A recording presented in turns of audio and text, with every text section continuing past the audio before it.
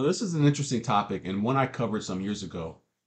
Recently, one of my subscribers brought it back up to me, and uh, I thought it'd be a good idea to re examine Bill Weise's accounting of his 23 minutes in hell.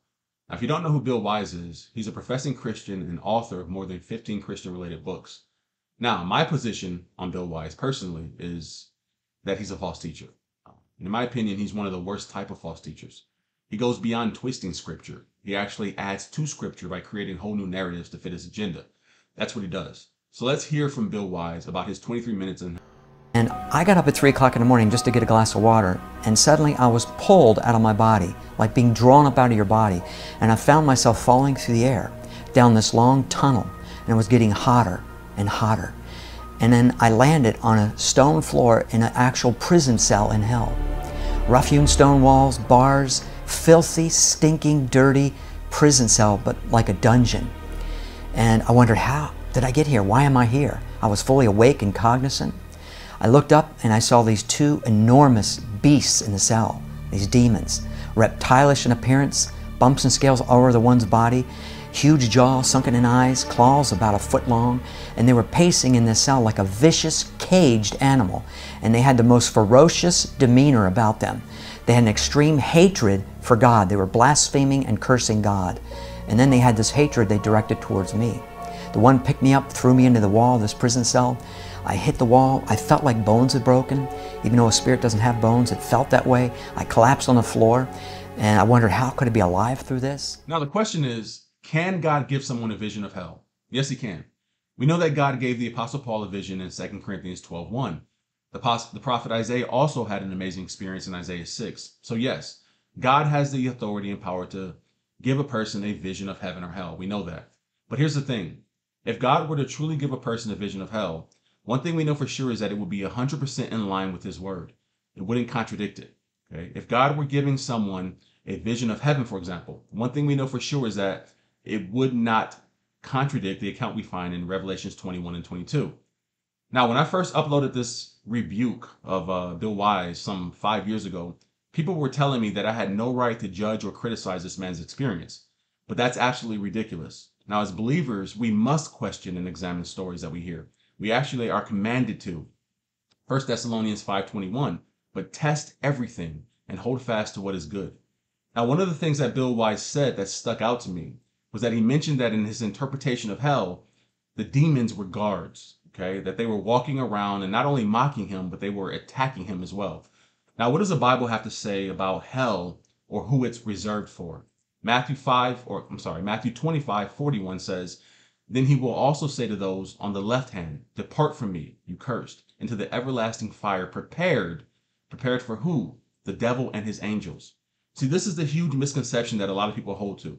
They believe that hell is this is this arena for Satan. It's like as though it's Satan's realm, that he controls it and that his demons are running around tormenting lost souls, as though hell was Satan's wrath. But that makes absolutely no sense. Hell was created specifically for Satan and his angels. So do you know what that means? It means if you die in your sins and go to hell, it was as if you were Satan's angel. Okay, think about that. Okay, and it will not be demons that will be tormenting you. Okay, you along with the demons will be tormented by the flame that never goes out. Matthew 5:22. But whoever says, "You fool," shall be in danger of hellfire, not danger of demons. Okay? Isn't it amazing how the most godly and most biblical preachers of today never get the chance to experience such things, right? We never hear these stories from men like John MacArthur or R.C. Sproul or Voddie Baucham. Okay, they don't have these type of experiences. For some reason, God always opens these experiences up to teachers that have, for the most part, incorrectly interpreted scripture. That's funny, isn't it? the bottom line is, I believe Bill Weise came up with this story to sell books. Okay, and that's exactly what he did. This man has earned millions of dollars off of a lie. The problem is he will have to answer for that lie on the day of judgment are instruments of apostasy. Look at verse 2 by means of the hypocrisy of liars, seared in their own conscience as with a branding iron. You need to understand something. I don't want to exalt my place or exalt the place of a preacher. But I want to tell you something. As God uses men to advance his kingdom through the proclamation of the truth, so the devil uses men to advance his cause against the kingdom of Christ. Now, I want, to, I want you to notice something from the book of Acts that whenever the kingdom is advancing, it's because the word of God is being proclaimed. You want to advance the kingdom? Proclaim, proclaim, proclaim the truth.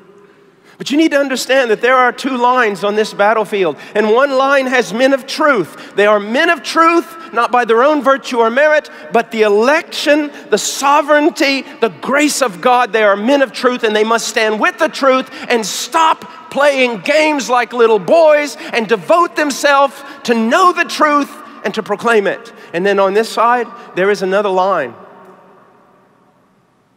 And they are proclaimers of lies frivolity, maybe even good things, but not the best things of God.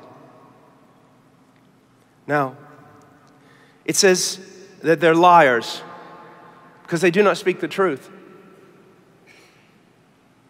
Now, what does that mean? They do not speak according to what is written, and therefore they prove that they have no dawn.